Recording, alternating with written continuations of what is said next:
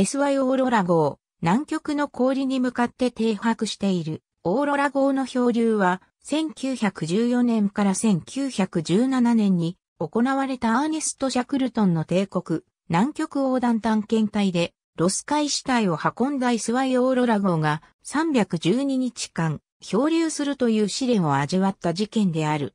1915年5月、南極大陸のマクマード入り江に係留されていたオーロラ号が強風の時に計索が切れて漂流を始めた。厚い氷に囲まれて操船できず、そのままロス海と南極海の開けた海域に流されてしまい、陸上の10人の部隊には粗末な食料しか残せていなかった。オーロラ号は、船齢が40を過ぎている北極用捕鯨船として使われてきたスチームヨットで、ロス海死体は1915年1月にマクマード入江にあるエヴァンス岬へ送り届けられると、シャクルトンの南極大陸横断を支援するための基地を設置した。オーロラ号の船長イニーアス・マッキントッシュが陸上部隊を指揮し不在の間は一等航海士のジョセフ・ステンハウスが船の指揮を引き継いだ。ステンハウスの経験不足は越冬に向けた停泊地の選択を間違えた原因に数えられるかもしれないが彼が取り得る行動は上官からの指示によって限られたものになっていた。船は吹き流された後に氷の中で激しい損傷を受けて舵が壊れ錨をなくしていた。最悪の場合にはステンハウスが船を放棄することも考える状態になっていた。エヴァンス岬とさらに後にはニュージーランドやオーストラリアの基地と無線で連絡を取ろうとしたが果たせず、漂流は南半球の冬から春に及び南極圏まで北上した。1916年2月、ようやく船を囲んでいた氷が割れ始め、1ヶ月後には解放された。その後、修理や補給が可能なニュージーランドにたどり着き、物資を補給した後には、南極に戻って陸上部隊の生存者を救出した。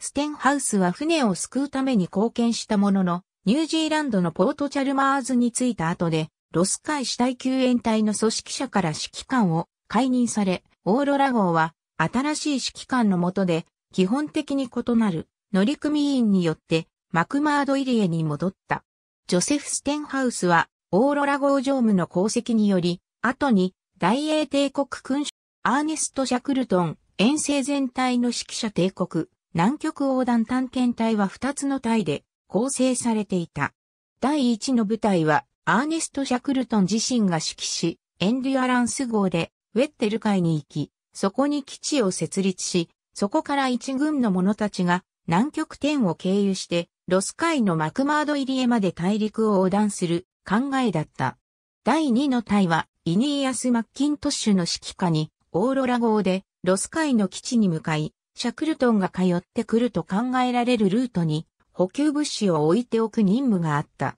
この任務についてシャクルトーンは、マッキントッシュの隊ならばそれほど難しくもなく、実行できるものと予測していた。しかし、シャクルトンは、ロス海死体の運営の詳細について承知できる時間がほとんどなかった。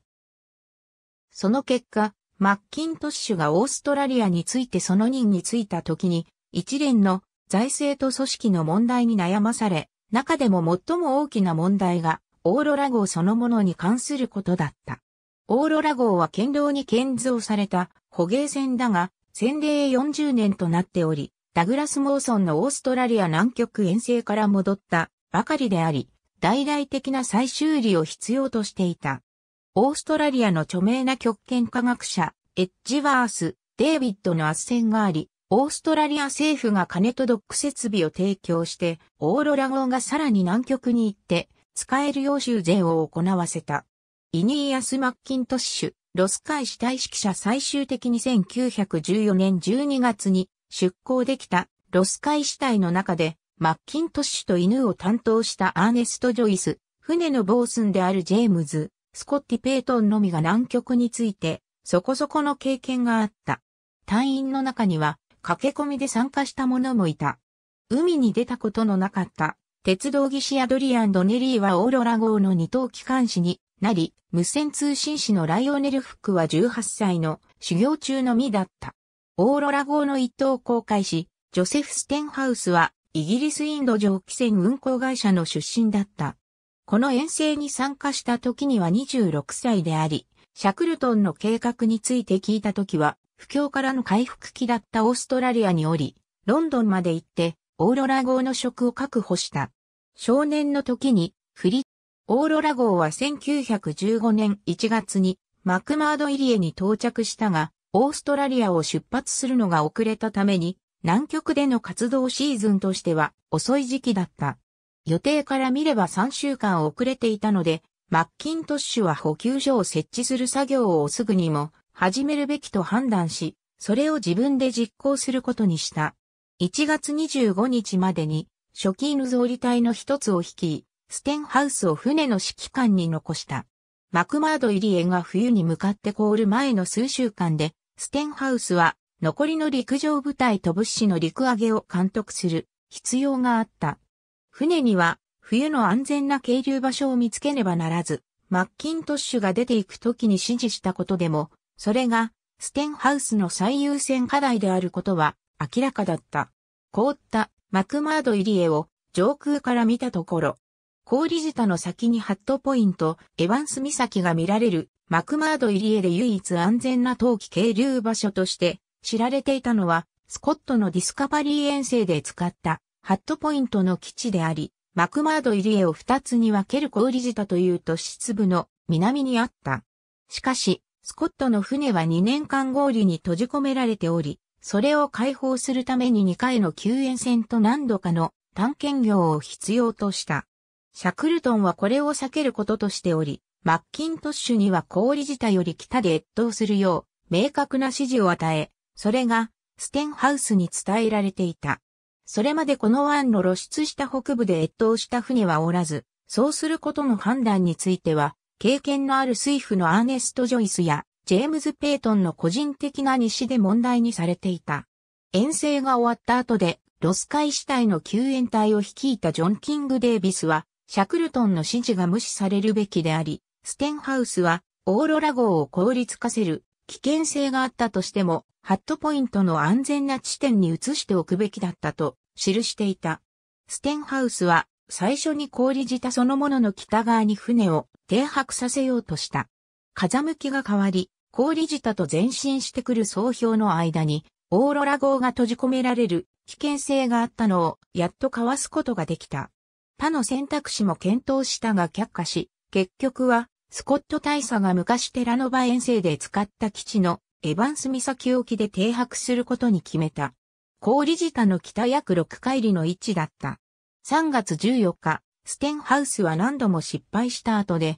オーロラ号を所定の位置に操船し、エヴァンス岬のある岸に対して船尾を向け、二つの大きな怒りを投じて海底に固定した。秒作と大の綱が太い鎖と共に船尾につけられた。種秒差も二つ落とされた。3月14日までに二等航海士のレスリー・トンプソンによれば、船は岸の氷に収まり、戦艦を保持できるほどの大の綱と怒りが使われていた。エヴァンス岬の隠れ場所のない停泊地は、オーロラ号を冬の厳しい気象に完全にさらすことになった。4月半ばまでに船は難破船のようになっており、右舷側に大きく傾き、氷がその周りを動くと激しい衝撃や振動が伝わっていた。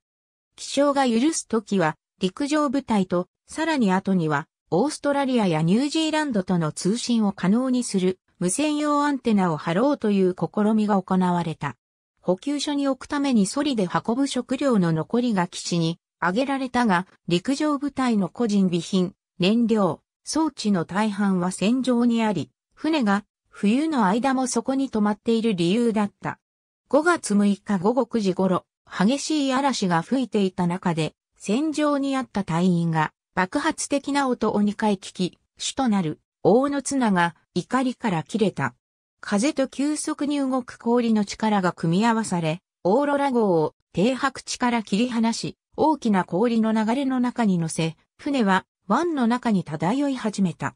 ステンハウスは強風が弱まった間に蒸気機関の力で岸に戻すことができるかもしれないと考え、蒸気を上げるよう命令したが、エンジンは冬の修繕のために一部分返されており、即座に発動できなかった。いずれにしても、98馬力のエンジンと一軸のスクリュープロペラは必要な水力を出せなかった。嵐が轟音を立てており、エヴァンス岬の小屋にいる科学者部隊は何も音が聞こえていないことを意味していた。船が行ってしまったのに気づいたのは朝になってからだった。オーロラ号が漂流を始めた時には18人の乗組員が乗船しており、岸には10人が残された。エヴァンス岬の小屋には4人の科学者がいた。最初の補給所設置隊はマッキントッシュとジョイスを含む6人であり、この時ハットポイントでエヴァンス岬まで氷の海を渡るチャンスを伺って待機していた。オーロラ号の漂流経路、5月6日から総氷の中で流され、1916年3月14日に氷から解放され、ポートチャルマーズに撤退した5月8日までに、連続した南からの強風が、まだ氷に閉じ込められたままの船を北に動かし、マクマード入り江から出て、ロス海の開けた海域に入った。ステンハウスは5月9日の日誌で、オーロラ号の位置を、総氷の中で急速に流れ、どこに行くかは、神が知っている。我々の健康状態は良い。息は高くうまくやりくりできるだろう。と要約していた。ステンハウスは、それが、マクマード入りへで越冬する機体をなくすものであることを認識し、エヴァンス岬に残された隊員のことを心配して、彼らには悲惨な見込みである。我々は来年のソリ旅行のために残していたバーバリア衣類を積んだままであると記していた。その後の2日間、風は乗組員が甲板で働けないほどに強かったが、5月12日に一時的に無線通信用アンテナを張ってみるほどに和らいだ。フックが陸の部隊との接触を試み始めた。しかし、そのモールス信号はエヴァンス岬に届かなかった。送信機の範囲は通常300マイルに満たないが、フックは1300海里以上離れたマッコーリー島の基地と通信しようとして、やはり叶わなかった。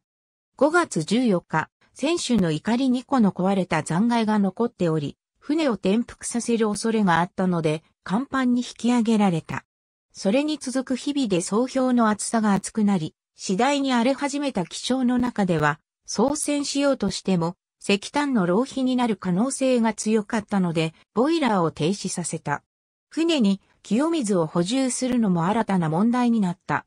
大きな氷山が見えたが、その気象条件で近づくにはあまりに遠かったので、飲料水を得るために乗組員が雪を集めるしかなかった。食料はそれほど問題にならなかった。船の周りに集まってくるペンギンやアザラシからの肉で、オーロラ号に積んでいた食料を補うことができた。乗組員の士気を上げるために5月24日のイギリス帝国の日にはラム酒が分けられた。5月25日、オーロラ号がビクトリアランドの方向に流されていた時、ステンハウスは大きな氷の塊がねじれて立ち上がる様子を墓場のようだと表現していた。オーロラ号はこの氷が集まってくるので常に危険な状況にあった。ステンハウスは乗組員にオーロラ号が氷に捕まって潰された場合に岸に上がる可能性に備えてソリと物資を準備するよう命令したが、差し当たりの危険性は去った。比較的何もない数週間が過ぎ、その間にステンハウスは選択肢を検討した。船が氷に閉ざされたままなら動きが取れないであろう。氷が溶けるならば、装備と物資を持たせた、ソリ部隊をエヴァンス岬に送ることができる。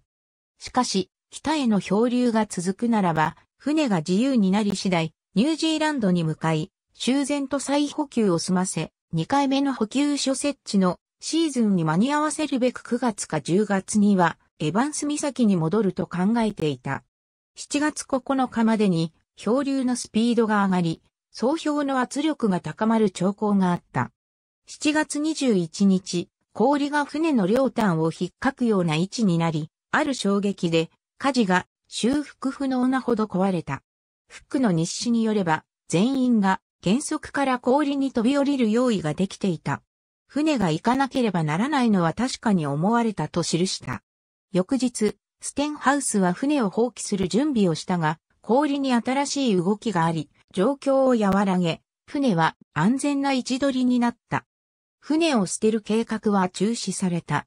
フックは無線通信用アンテナを修理し、マッコーリー島との通信を再開した。8月6日、漂流を始めてから初めて太陽が顔を出した。オーロラ号は依然として氷にしっかり捉えられたままであり、エヴァンス岬からは360海里北に出ており、ロス海が南極海に出てくるビクトリアランド北端のエヴァンス岬に近づいていた。船がアデア岬を過ぎた時、漂流の方向が北西向きに変わった。8月10日、ステンハウスは岬の北東45海里にいると推計し、1日の漂流距離は平均して20海里を超えた程度とみなした。その数日後、ステンハウスは船が交代と充填をしていると記録した。すなわち進むことなく、交代と前進を繰り返しているということだった。しかし、文句は言えない、忍耐するしかないと、ステンハウスは記し、見張り台からははっきりと開けた海が見られると、付け加えていた。総評の端部が近いという見込みがあり、王宮田の工作が始まった。これには破壊された火事の除去から始める必要があり、義士のドネリーが大部分を担当した。王宮田は、あり合わせの材料で作られ、8月26日には、氷から脱出でき次第使えるようになっていた。それは、船尾から下ろされて、人力で巨大なオールのように動かされることになっていた。8月25日、フックは時たま、マッコーリー島やニュージーランドとの間で、ラジオ信号を交換し始めていた。8月末までに氷の割れた先端が現れるようになり、時には船の下で氷の膨らみを見分けることができた。しかし、9月に入って厳しい気象条件が戻り、ハリケーンのような風が無線通信用アンテナを破壊し、一時的にフックの作業は止まった。9月22日、オーロラ号は無人のバレニー諸島が視界に入るようになり、ステンハウスはエヴァンス岬から700海里以上動いてきたと推算し、素晴らしい漂流と言った。自然と氷の方向について定期的な観測と記録が維持されており、無駄ではない。総評の塊と漂流の知識が人類の知識の集まりに貴重な追加となると言っていた。翌月、オーロラ号の状況はほとんど変わらなかった。ステンハウスは指揮を保ち、乗組員をいつでも働けるようにし、氷の上でのフットボールやクリケットなど、レジャー活動を組織するなど、懸命に働いていた。11月21日、オーロラ号は南極圏の線を通過し、船の周りの氷がやっと溶け始めていることが明らかになった。ステンハウスは強い吹雪でも来れば氷全体の崩壊につながると記していた。クリスマスが近づいてもまだ氷が硬かった。ステンハウスは乗組員に祭りの用意を認めたが、その日誌には神が吹き飛ばされた祭りは終わったことにしてくれるのを願う。我々は最良の状態にあるが、エヴァンス岬の哀れな小敷たちはほとんどあるいは何も持っていない。と記していた。数日後の新年は、即興のバンドで、ルール、ブリタニアとイギリス国歌を歌って祝った。1916年1月初旬、船を捕獲していた不評が日光を受けて割れ始めた。ステンハウスはニュージーランドで修繕をした後で、我々が2月末にリトルトンを出ることができれば、運と南への素早い航海によって、入江が凍結する前にハットポイントに到着できるかもしれないと推量していた。船から近い氷が早く動いているのが見られたが、それでも1月の間、オーロラ号は氷に囚われていた。南極の夏が終わりかけており、ステンハウスは、オーロラ号がもう一年氷に囚われたままになる可能性も検討しなければならず、燃料や食料を再検討した後に、アザラシやペンギンをもっと多く捕まえるよう命令した。しかしこれは難しいことが分かった。氷が柔らかくなってきており、船から遠くまで移動するのは危険だった。船を囲んでいる氷が溶けるにつれて、尖閣木材の継ぎ目が開いてきて、1日3ないし4フィートの水が浸水してくるようになり、ポンプで買い出すのが日常になった。2月12日、乗組員がこの労働で忙しい時に船の周りの氷がやっと壊れ始めた。わずかな時間の間に不氷全体が粉々になり、水面が開け、オーロラ号は自由に浮かんでいた。翌朝ステンハウスは帆を張ることを命じたが、2月15日、船は集まってきた氷に止められ、また2週間の間動けなくなった。ステンハウスは石炭が残り少なくなってきていたので、エンジンを使うことをためらっていたが、3月1日に選択の余地がないと判断した。蒸気を送るように命じ、翌日にはエンジンの力で前進を始めた。何度か停止と進行を繰り返した後、3月6日に見張り台から氷の外れが視認された。3月14日、オーロラ号はついに氷から離れた。312日間、1600海里を漂流して来ていた。ステンハウスは船が開けた海に出た位置を南緯64度27分、統計157度32分と記録した。漂流後にニュージーランドに帰還したオーロラ号、王宮打が見える総評からの脱出が遅れたことで、エヴァンス岬にすぐに救援に向かうというステンハウスの望みはなくなった。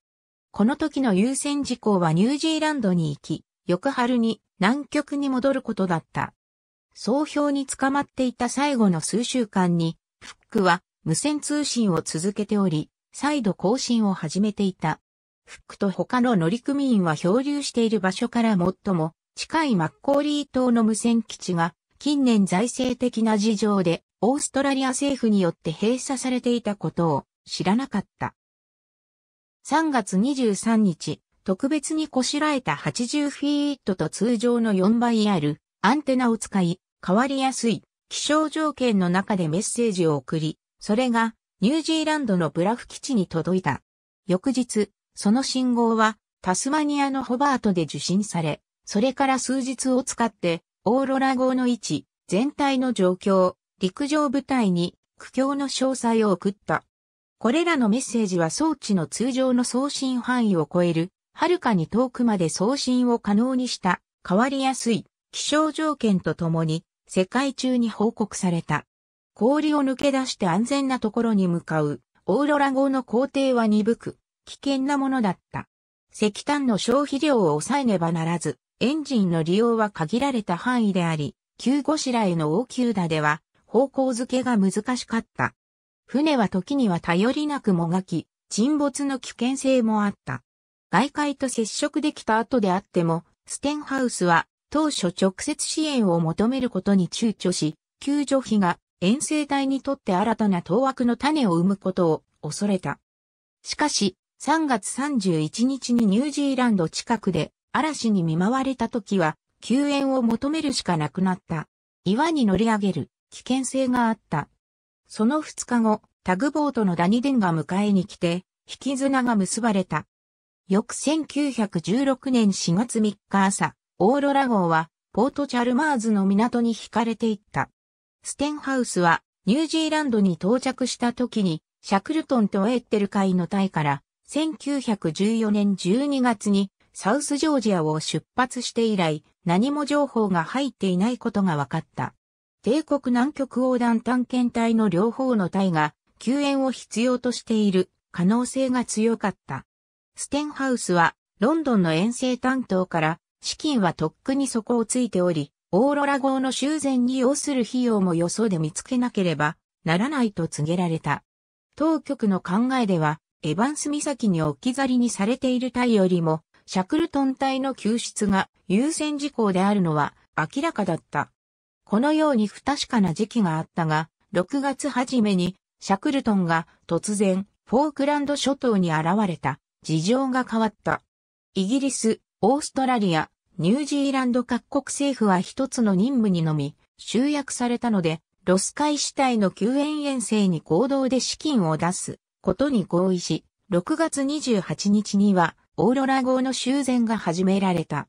ステンハウスはこの船の事実上船長として救援隊を率いていくものと考えていたが、救援を担当する委員会がシャクルトンのロス海市隊の組織を批判していることが明らかになった。委員会は独自に救援隊の指揮官を指名することを望み、シャクルトンに忠誠なステンハウスは受け入れがたかった。さらにステンハウスが指揮官として十分な経験を持っているかも問題にし、その理由として冬季停泊地の誤った選択を挙げた。ステンハウスは不確かな状態が数ヶ月続いた後に、10月4日付の新聞記事で、ジョン・キング・デイビスがオーロラ号の新しい船長に指名されたことを知った。ステンハウスはシャクルトンからこのような手配に協力しないよう勧められ、一等航海士に戻すという提案を拒否し、トムソン、ドネリー、フックと共に解雇された。シャクルトンがニュージーランドに現れたのは遅すぎて、この件に介入できず、オーロラ号の定員外士官として指名しようとしたが、及ばず、オーロラ号は1916年12月20日に、エヴァンス岬に向けて出港した。1920年、イギリス国王ジョージ5世は、ジョセフ・ステンハウスのオーロラ号乗務の功績を認め、大英帝国勲章を贈られた。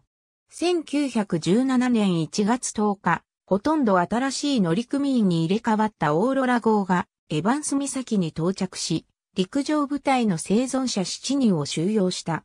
マッキントッシュ、ビクター・ヘイワード、アーノルド・スペンサー・スミスの3人が死んでいた。オーロラ号が南極を訪れたのは、これが最後となった。ニュージーランドに戻るとシャクルトンが石炭運搬船として売却した。オーロラ号は1917年6月20日にオーストラリアのニューサウスウェールズ州ニューカッスルを離れて、チリに向かい、その後行方がわからなくなった。1918年1月2日、ロンドンのロイズにより失踪として公式に登録された。この時失踪した者の中に、ジェームズ・ペイトンがいた。ペイトンは、ロス海死体と漂流の間、及びその後の救援でも船の甲板長として、務めていた。ありがとうございます。